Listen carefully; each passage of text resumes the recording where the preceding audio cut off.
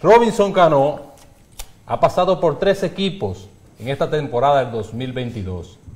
Ayer, domingo, sale la información desde que, que fue pasado al equipo de Atlanta, esto por dinero en efectivo. Y en el día de hoy, pues se hizo efectivo. Debutó, está debutando precisamente frente a su antiguo equipo de los Mets.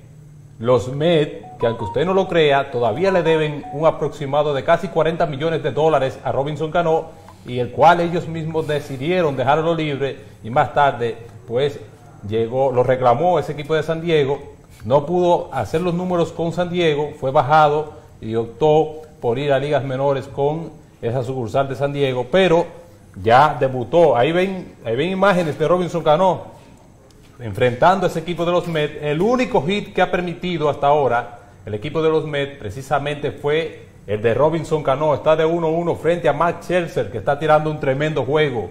Tiene un total de 5 ponches ya a la altura de la cuarta entrada. Los resultados de las grandes ligas, los Piratas 3 por 1 en la séptima, los Marlins.